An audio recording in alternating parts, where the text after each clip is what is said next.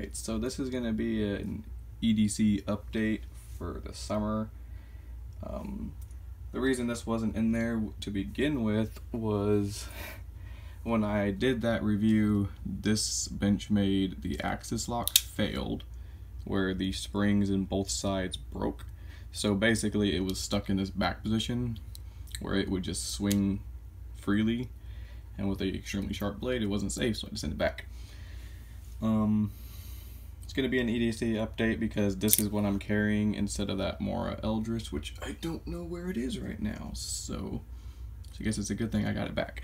That and um, as an update, sometimes I will carry this light, which if it'll focus, mm, there it is, the SRT3 Defender from Nitecore.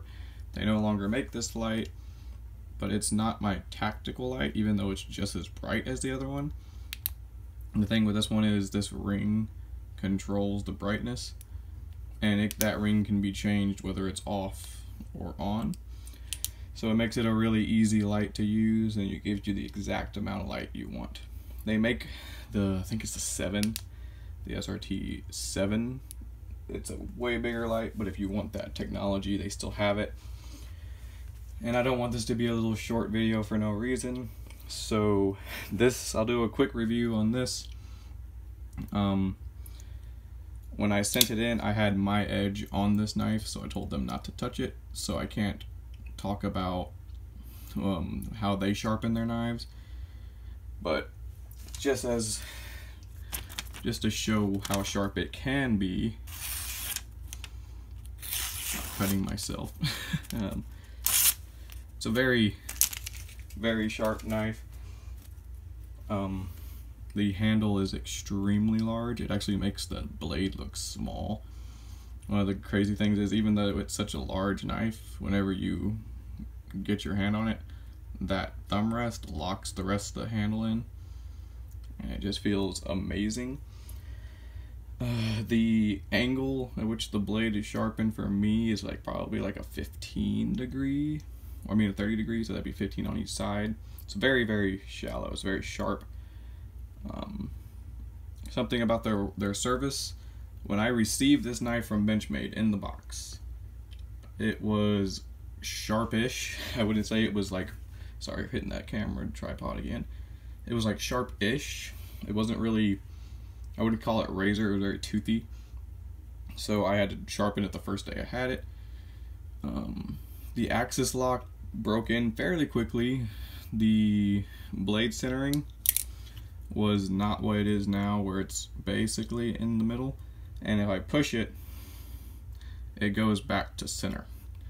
That was not the case when I first got it. It would fluctuate and sometimes it would scrape the edges and then this like false not false edge um like non-lethal option it would wiggle and rattle now it's locked in tight. And then this clip, I actually still have the clip that they originally gave me. It was extremely loose and it was very thin. I think this one's thicker, or it might just be that I think it is, but it's a lot stiffer. And one of my tests for clips is if you get your fingernail under there and you try to pick it up, and if it hurts you to pick it up with your fingernail only, that's generally a pretty sharp, I mean a pretty uh, strong clip. And when I sent it back to them, they were very professional, very nice. They even gave me the clip for free, which I mean, I didn't even lose it. They just sent me one. So that's nice.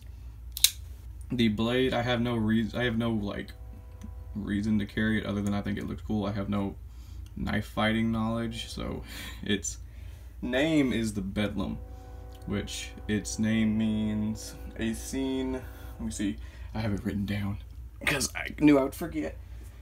It means a scene of uproar and confusion. So it's a it's a good name for it, I guess, for being like a war knife, and it's it would probably do very good at that. I just use it to cut open packages because I don't need to cut open people all the time. But that's the review of that. I actually really like the knife. It carries well especially because of the deep carry. It only sticks out about right here. And then the other thing is it's heavy, but I'm used to carrying fixed blades, so it's pretty good to me. That is the update. I will be coming out with a review of my backpack contents soon. I just haven't got to it. And I think this takes priority over that. So, thanks for watching and have a great day.